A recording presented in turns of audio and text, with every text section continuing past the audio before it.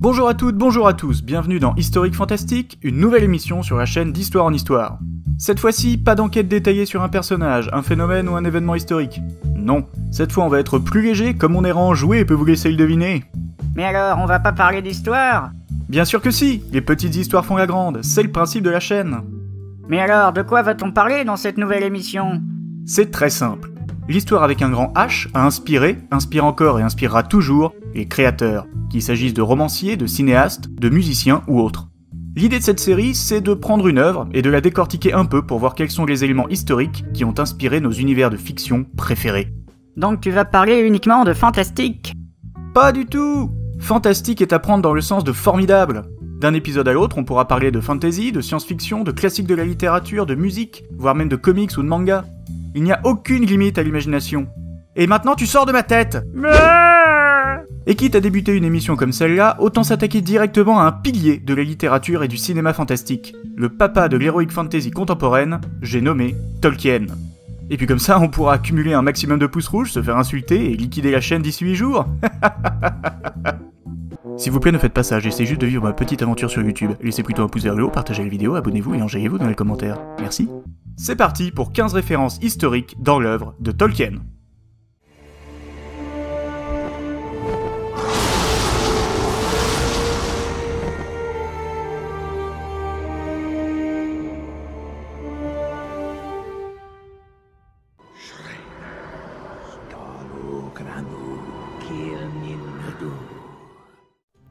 Avant d'être inspiré par l'histoire à proprement parler, Tolkien a été par tout un tas d'histoires plus simples, allant du conte pour enfants au récit mythologique.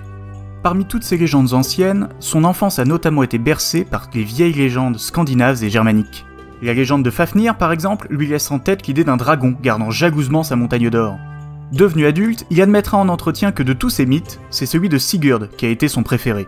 Tellement d'ailleurs que son premier essai de roman a été une tentative d'adaptation de la saga de ce héros scandinave. Certains éléments de ce récit, Tolkien les a conservés dans Le Seigneur des Anneaux. D'abord, les deux histoires ont pour enjeu un dangereux anneau de pouvoir, mais elles contiennent aussi des épées dont le porteur est appelé à un destin exceptionnel s'il parvient à la faire reforger.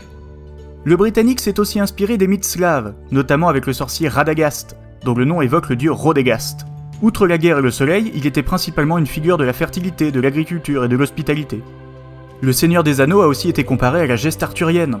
Gandalf évoque Merlin l'Enchanteur, Aragorn évoque le roi Arthur, et Galadriel, pour certains, a des similitudes avec la Dame du Lac. Bon après pas forcément avec cet têtes-là, les personnages arthuriens, ça c'est mes références à moi. Hein. Homme de culture classique, Tolkien n'a pas pu empêcher son imaginaire d'être également inspiré par la mythologie grecque. Ainsi, la disparition de l'île de Numénor peut être vue comme une référence à l'Atlantide, d'autant que son nom elfique est... Atalante. Eh oui, une coïncidence toutefois, d'après Tolkien. Vivant dans le monde réel mais isolés sur une montagne, les Valar font penser aux dieux de l'Olympe, avec lesquels ils partagent des similitudes. Ulmo, seigneur des eaux, évoque Poséidon, tandis que Manwë, seigneur des airs et roi des Valar, fait irrémédiablement penser à Zeus perché sur son nuage et les éclairs à la main. Tolkien lui-même, d'ailleurs, compare volontiers Beren et Luthien à Orphée et Eurydice, les amants tragiques de la mythologie grecque, mais dont les genres auraient été inversés. Et accessoirement, c'était aussi les surnoms respectifs des époux Tolkien. Si ça, c'est pas une preuve d'amour, franchement, je ne sais pas ce qu'il vous faut.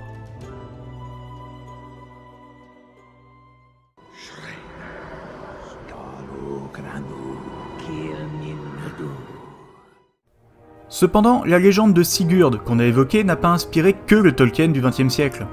Au XIXe siècle, la mode romantique redécouvre tout le passé germanique et scandinave de l'Europe, et fait revivre la mythologie de ces peuples, jusqu'ici considérés comme des barbares. Ainsi, la saga de Sigurd avait déjà été utilisée par Richard Wagner, qui l'avait transposée en opéra, des Ring des Nibelungen, l'anneau du Nibelung en français, parce que bon, l'allemand, euh, voilà. D'ailleurs, ce que vous entendez là, c'est du Wagner. C'est le leitmotiv de Siegfried. Les similitudes entre le Seigneur des Anneaux de Tolkien et l'anneau du Nibelung de Wagner étaient d'ailleurs si fortes que, dès la publication du livre de l'auteur anglais, une avalanche de critiques l'ont tout simplement accusé de plagiat. Il faut dire que l'interprétation de la légende de Sigurd par Wagner l'a conduit à mettre en avant l'anneau, désormais capable d'offrir à son possesseur le contrôle du monde, ce qui n'était pas clairement le cas dans l'œuvre originale, mais qu'on retrouve évidemment chez Tolkien, qui connaissait bien les opéras de Wagner. Interrogé sur ces ressemblances, Tolkien a simplement affirmé à son éditeur Les deux anneaux sont ronds, et c'est leur seul point commun. Mouais.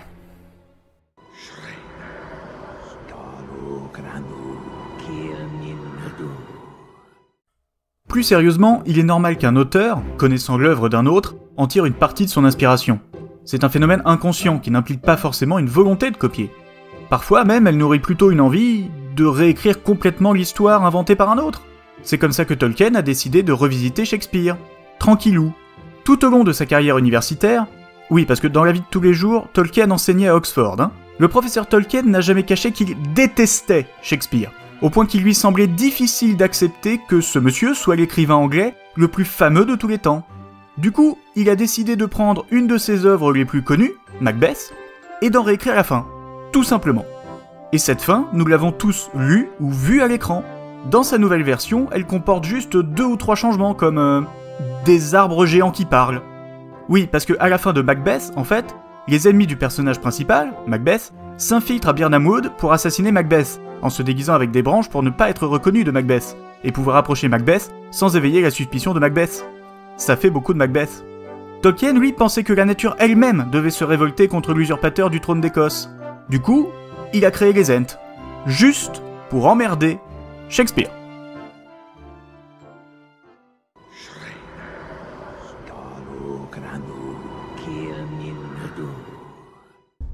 Comme je viens de l'évoquer, Tolkien était professeur de littérature, plus exactement de philologie, l'étude d'une langue, de son histoire et de sa littérature. Il est donc assez logique que le monsieur ait travaillé toute sa vie sur des textes anciens, et parmi eux, il y a Beowulf. Il s'agit d'un poème épique en vieil anglais, qui a traversé le temps depuis les premiers siècles du Moyen Âge, tout en abreuvant les littératures anglaises de référence et des personnages contenus dans ses vers.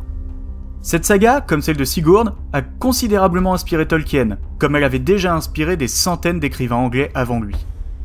John Ronald Reuel, JRR, hein, littéralement, lui a ainsi emprunté tout un tas de créatures. Les géants, les elfes ou même les orkneas, traduits par corps de démons, mais que Tolkien renommera tout simplement les orques. Pour les elfes d'ailleurs, il a été obligé de broder. Les différentes versions de Beowulf ne sont pas toutes claires sur l'apparence des bellâtres aux oreilles pointues, quand elles ne se contredisent pas complètement. Des noms propres aussi sont inspirés du vieil anglais utilisé dans Beowulf.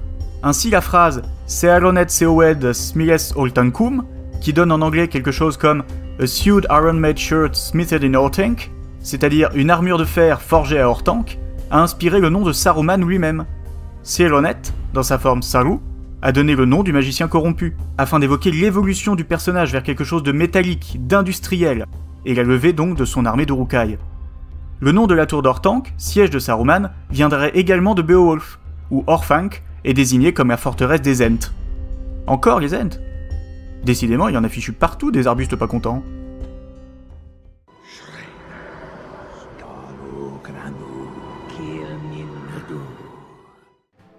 Parmi les autres récits qui ont inspiré Tolkien, il faut citer le Kalevala. Ce mythe finlandais a marqué l'imaginaire de l'auteur britannique, qui s'y est replongé volontiers tout au long de sa vie, affirmant que ce récit était le germe de son intention d'écrire des légendes. Tolkien aimait le fait qu'il s'agisse d'un mythe national. Il espérait que l'Angleterre pourrait avoir quelque chose de similaire. La Grande-Bretagne avait les histoires celtiques, mais l'Angleterre elle-même avait oublié ces vieilles mythologies. Avec le Seigneur des Anneaux, il voulait donner à l'Angleterre son propre Kalevala. La langue finnoise, d'ailleurs, a directement inspiré le Kenya, la langue des elfes inventée par Tolkien. Dans le Kalevala, le Sempo, un artefact à la forme indéfinie, accorde la chance à son possesseur. Par conséquent, les forces du bien et du mal se déchaînent pour l'acquérir. Le Sempo a été forgé par Ilmarinen, dont le nom évoque les Silmarils, trois reliques de grand pouvoir forgées par les elfes de la Terre du Milieu. Le héros du Kalevala, Vainamoinen, partage de nombreuses similitudes avec le personnage de Gandalf, notamment son immortalité et sa sagesse. Certains spécialistes de l'œuvre de Tolkien le comparent aussi à la figure mystérieuse de Tom Bombadil. Les deux œuvres partagent également leur fin, puisqu'elles s'achèvent sur des héros quittant leur terre en bateau pour rejoindre un monde au-delà des terres des mortels, laissant vivre après eux le mythe de leur vie et de leurs exploits. Un peu comme le roi Arthur qui quitte la Bretagne pour disparaître en Avalon. Une autre référence convoquée par Tolkien.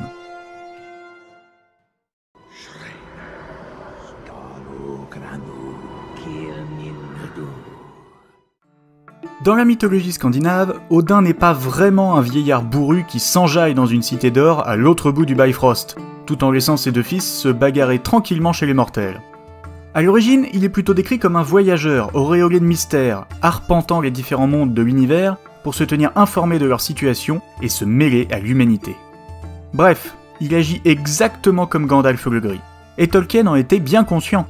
Dans sa correspondance, exhumée par Michael Drought, il qualifie Mitrandir de vagabond odinique, partageant avec lui l'habitude de l'errance et l'appui sur un bâton solide.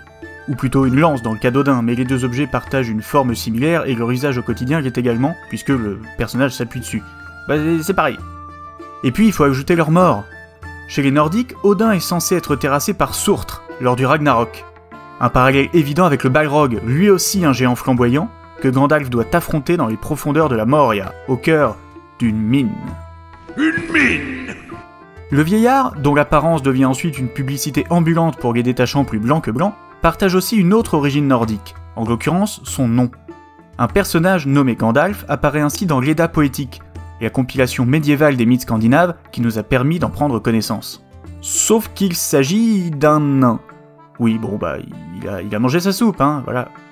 Ce qui compte, c'est d'ailleurs le sens du nom. En vieux norrois, Gandalf signifie l'elfe errant, au sens de la créature sur les routes. Une image païenne assez inconvenante pour un type qui fait un retour en scène façon Jésus-Christ.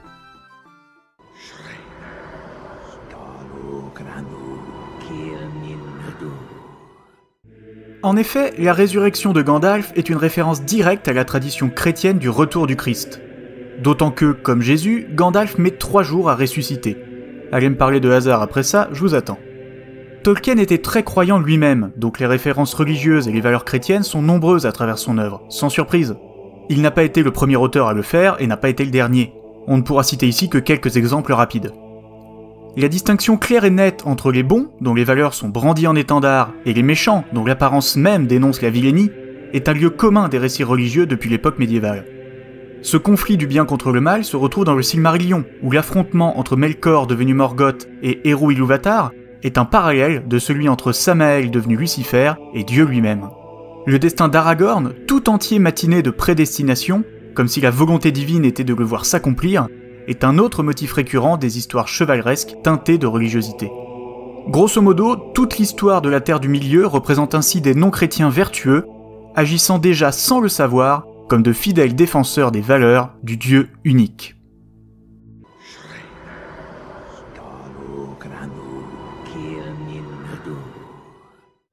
En 1928, des fouilles archéologiques sont conduites à Lydney Park, près de Gloucester. Afin de traduire différentes inscriptions, l'équipe sollicite le professeur Tolkien, éminent spécialiste des langues anciennes. Le nom de l'endroit était Dwarf's Hill, la colline du nain. Tolkien y traduit notamment cette inscription-ci. Offrande pour le dieu Nodens.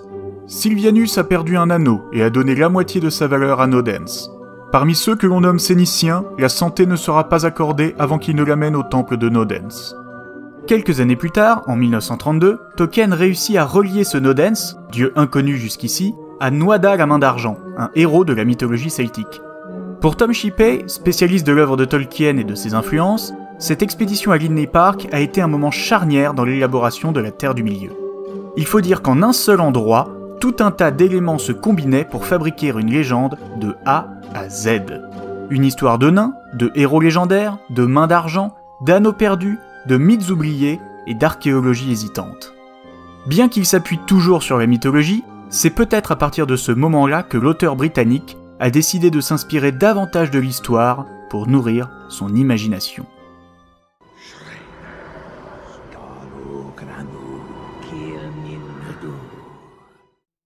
Plusieurs figures historiques vont ainsi, progressivement, inspirer Tolkien tandis qu'il progresse dans la création de son univers et de ses personnages. La première personnalité historique que l'on va ainsi aborder dans cette vidéo n'est absolument pas connue du tout. Mais genre vraiment du tout Eh, faut bien que les vidéos vous apprennent des trucs quand même Ah, il y en a qui se prennent pour des cadors. D'accord. Alors qui connaît Oswald de Northumbrie? C'est bien ce qui me semblait. Nous sommes au 7e siècle, dans le nord de la future Angleterre. Euh, non, non, attendez, pardon, mauvaise émission. Oswald, donc, est l'héritier de la Northumbrie. Sauf qu'il s'est fait exiler tout jeune, après la mort brutale de son père, vraisemblablement au profit des païens de son royaume, qui ont ainsi repris le pouvoir dans la région. S'aventurant à travers une bonne partie de l'ancienne Britannia, Oswald parvient à nouer des alliances, à rallier à la fois des chrétiens et des païens parmi son peuple, et à finalement reprendre son trône en 634. À ce stade, normalement, vous avez pigé le truc. Oswald, c'est le Aragorn du monde réel. À moins que Tolkien ne se soit inspiré d'Alfred le Grand ou d'Édouard le Confesseur, des rois plus tardifs qui ont plus ou moins fait la même chose. Oui, bah il a jamais confirmé si c'était l'un ou l'autre, alors j'y peux rien moi. Hein. Au moins, vous avez découvert un roi badass.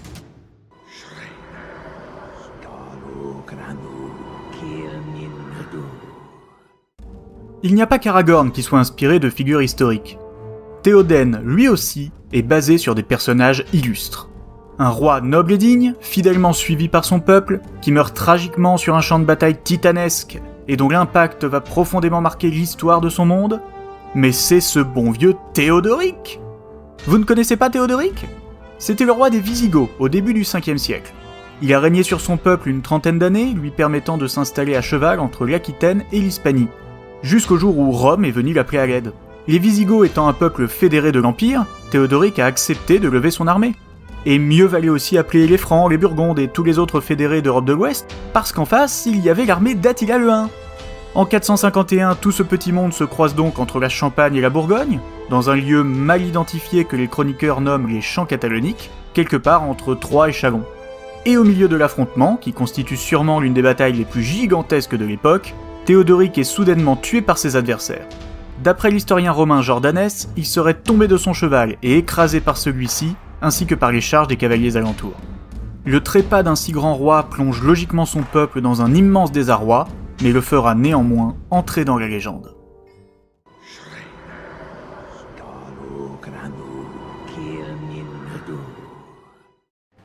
Le Gondor, un royaume encerclé d'ennemis, dont la puissance se concentre dans sa capitale, une cité ancestrale aux hautes murailles qui, depuis des siècles, ont découragé tous les assaillants, jusqu'à ce que le Mordor, alignant une armée de machines de siège terrifiantes, ne parvienne à pénétrer l'enceinte et à pousser le royaume vers la disparition. Moi, ça m'évoque un truc, mais quoi? Ah oui, l'Empire romain d'Orient, ou l'Empire byzantin, on peut dire les deux, menacé par les invasions barbares. Je sais que l'expression est tombée en désuétude et qu'elle ne recouvre pas une réalité historique adéquate. Je l'utilise ici par commodité parce que je n'ai pas le temps d'expliquer les subtilités des changements démographiques, économiques, sociaux et sécuritaires de l'Empire romain des 4e et 5e siècles. Je ferai peut-être un DHEH là-dessus un jour, mais pas aujourd'hui, j'ai pas le temps. Bisous Menacé par les invasions barbares donc, par l'éclatement oriental de son territoire, puis occidental grâce à la joyeuse quatrième croisade détournée par les Vénitiens, Byzance va irrémédiablement perdre en influence, jusqu'à ce que celle-ci dépasse péniblement les murs de Constantinople. Assiégé par Mehmed II en 1453, celui-ci déploie une armée considérable pour prendre la ville, mais aussi une artillerie terrifiante qui parvient à fragiliser l'ancestrale muraille de Théodose. En revanche, contrairement au Gondor, Constantinople n'est pas sauvé par une armée de fantômes des Balkans qui aurait eu une dette à payer. Non, pas vraiment. Elle tombe et devient rapidement la capitale d'un autre empire, celui des Turcs ottomans qui viennent de la conquérir. C'est toujours mieux que d'être rasé jusqu'à la dernière pierre, mais moins bien que de célébrer le couronnement d'Aragorn. Enfin, j'imagine.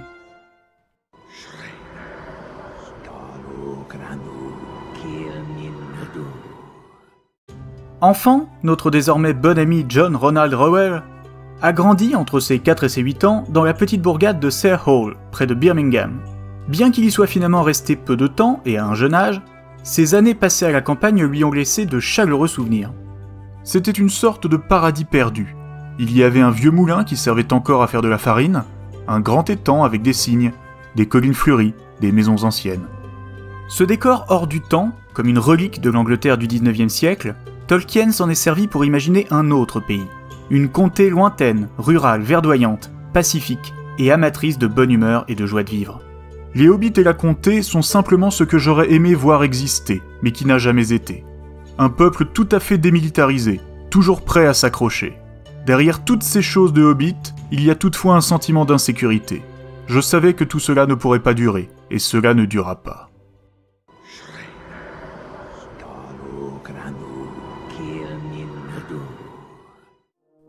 Après le paradis champêtre et innocent, la comté bascule en effet dans un monde plus dur, plus violent. Si elle n'apparaît pas dans les films, l'invasion du pays des hobbits est bel et bien conduite par Saruman dans les livres, où elle constitue le pénultième chapitre de la saga du Seigneur des Anneaux, c'est-à-dire l'avant-dernier acte.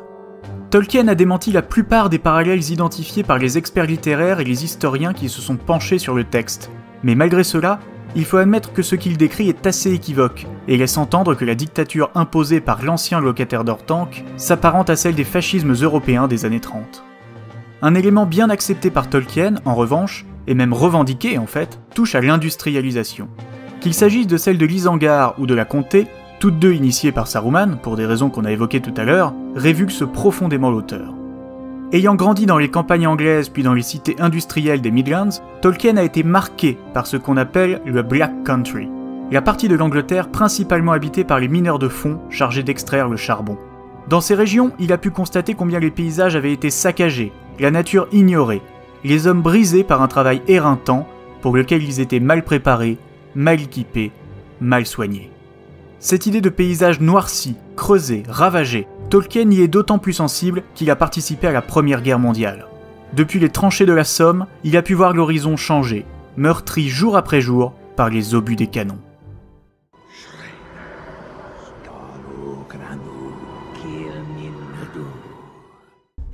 Mobilisé en 1915, Tolkien a été incorporé comme second lieutenant parmi les fusiliers du Lancashire.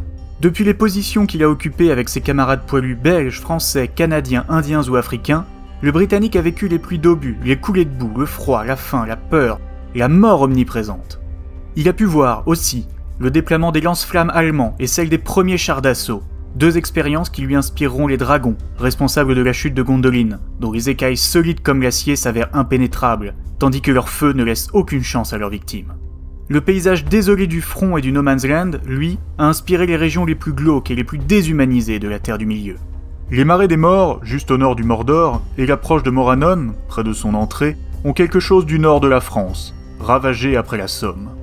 Après la publication du Seigneur des Anneaux dans les années 50, les rumeurs disaient que l'anneau unique était aussi une allégorie de l'arme ultime que constituait la bombe atomique, capable d'éradiquer l'humanité en un seul tir. Tolkien, comme pour la majorité des théories sur son œuvre, a toujours démenti, D'autant que d'après lui, mais aussi d'après les spécialistes de son travail, l'essentiel des romans était déjà écrit avant 1945, et donc avant l'apparition de l'arme atomique.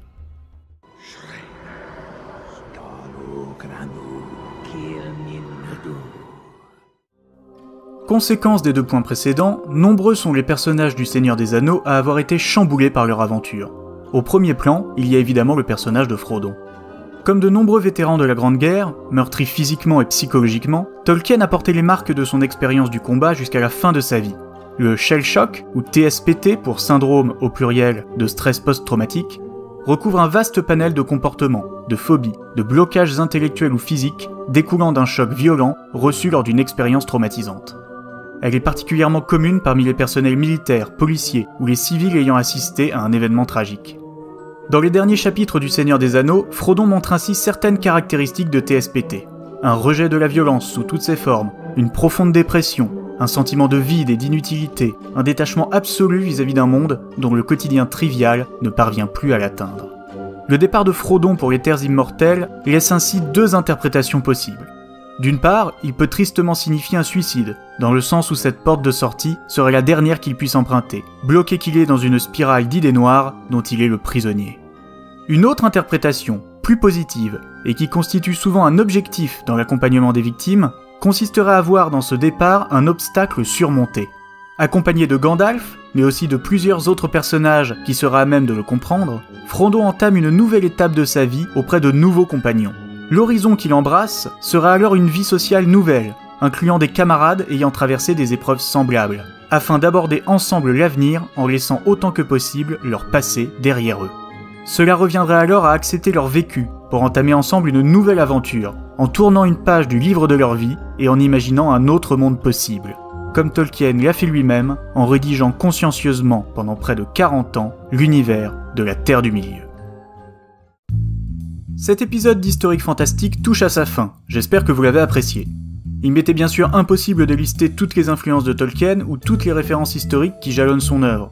Je pense toutefois avoir donné une vision d'ensemble assez large, même si elle se termine sur une ambiance pas forcément très joyeuse, mais j'ai essayé de relever le niveau sur la fin, donc j'espère que vous n'êtes pas en PLS sous votre bureau.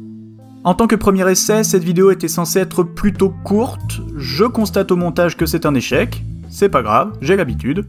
Quoi qu'il en soit, le format va sûrement évoluer pour les prochains épisodes, alors n'hésitez pas à me dire en commentaire ce que vous en avez pensé, ce que vous imaginez que je pourrais améliorer, ou quoi que ce soit d'autre qui puisse m'aider à mieux décortiquer avec vous nos mondes imaginaires préférés. D'ici là, vous connaissez la chanson. Laissez un pouce bleu, partagez la vidéo, abonnez-vous et mettez la cloche. Vous pouvez aussi me suivre sur Facebook et Twitter, les liens sont en description. On se retrouve bientôt pour une prochaine vidéo, d'ici là je vous dis merci et à la prochaine